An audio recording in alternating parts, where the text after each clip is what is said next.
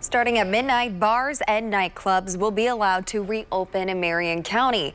That may sound like good news, but WRTV's Cornelius Hawker learned for many business owners, the restrictions that come with the reopening are no reason to celebrate.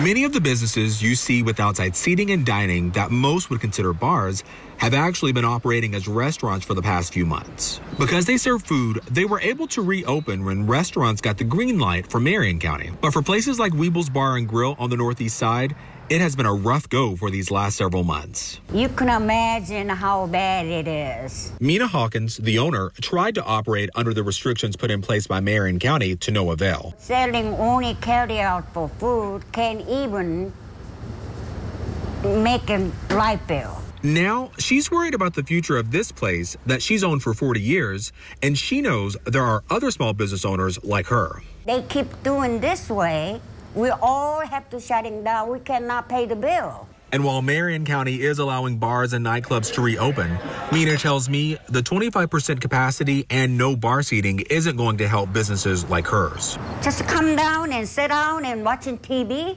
They might as well stay at home, no entertainment or nothing.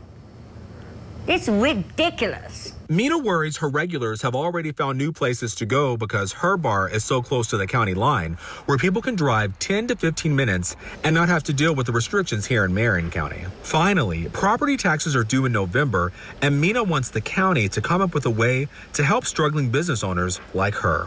I've been paying last 40 years for over $10,000 a year. How am I going to pay that bill? Working for you, Cornelius Hawker, WRTV.